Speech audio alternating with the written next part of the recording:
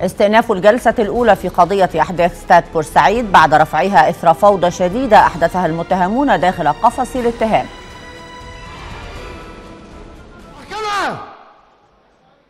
مليئة بالتفاصيل.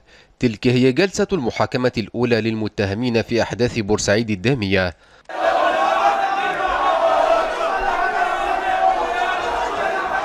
صخب وشغب وهتافات وانسحاب لهيئة المحكمة وغضب من الحضور وأحداث أخرى شهدتها الجلسة الأولى التي تستضيفها أكاديمية الشرطة بالقاهرة.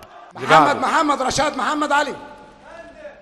هيئة جنايات بورسعيد بدأت نظر القضية باتباع الإجراءات المعتادة كإثبات حضور المحبوسين احتياطيا والتأكد من وجودهم داخل قفص الاتهام ثم مواجهتهم بالتهم المنسوبة إليهم. ويواجه المتهمون وعددهم 73 اتهامات بارتكاب القتل العمد مع سبق الإصرار والترصد المقترن بجنايات القتل والشروع فيه.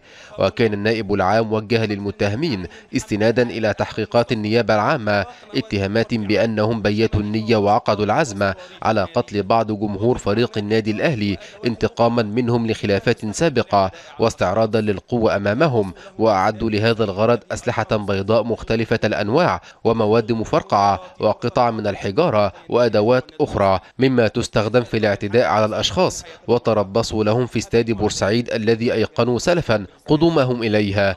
كما استمعت المحكمة إلى طلبات محامي الضحايا وممثلي الدفاع في القضية التي أثارت غضب الرأي العام بعد أن سالت على أرض استاد بورسعيد دماء أكثر من سبعين شخصا دون ذنب اقترفوه. وكان من المطالب التي طالب بها محام الدفاع تمكنهم من الاطلاع على التحقيقات التي جرت مع المتهمين والحصول على بعض المستندات التي تعينهم في الدفاع عن موكليهم.